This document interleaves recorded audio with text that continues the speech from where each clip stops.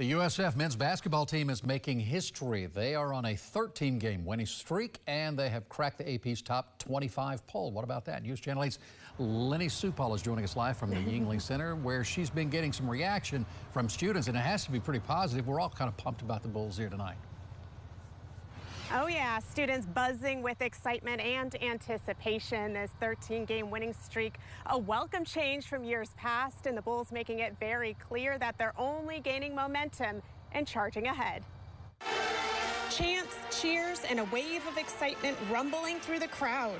That was our big win. We needed that win. 13 proving to be a lucky number for the USF Bulls, marking the number of back to back wins this season. The energy in the student section is unmatched. Um, you can definitely see it from photos, videos. Everyone always likes to comment on how wild we are.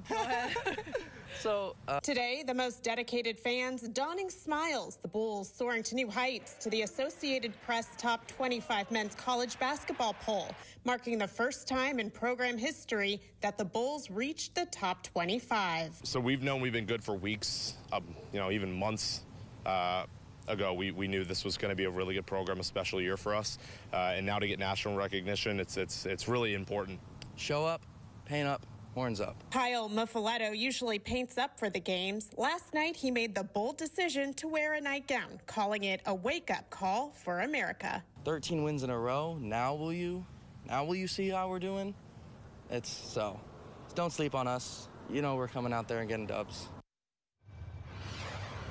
So they are hoping for more dubs in the future, and they are feeling very confident tonight. They are putting themselves on the radar for a possible bid to the NCAA tournament. Reporting live from USF in Tampa, Lenny Supal 8 on your side.